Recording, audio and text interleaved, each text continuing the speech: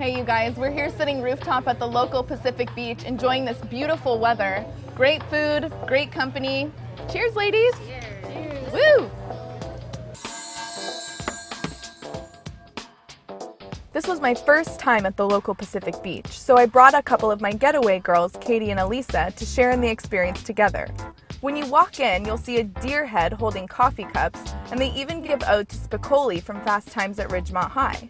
We all really enjoy spending time at beachy sports bars, but the local PB offers more than just bar food and television screens.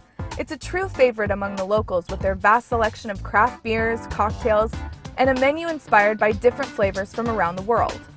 We headed on up to the rooftop patio to grab a bite and have a good time. The local is so spacious with its two full bars and plenty of indoor and outdoor seating both upstairs and downstairs.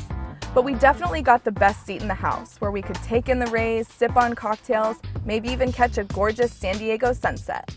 We shared the locals' lumpia, which is a traditional Filipino spring roll, served with their house-made pineapple sweet and sour sauce. We also tried the perfectly seasoned ahi poke, with macadamia nuts and seaweed salad. The portions were perfect for the three of us to share, but we were ready for a real meal. First, the lobster taco. I didn't know how much I liked lobster until I tried my first bite. Now I see what all the fuss is about. Next, the macadamia crusted mahi mahi, which was the perfect balance of sweet and savory. Lastly, the chicken and pork dish with a side of rice and macaroni salad. This was my personal favorite. After enjoying a great meal complemented by an ocean view, we thought it was only appropriate to watch a game inside at the bar with a frosty beer. The local offers something fun every night of the week, from Monday night football specials to acoustic Wednesdays and even brunch offered on both Saturday and Sunday.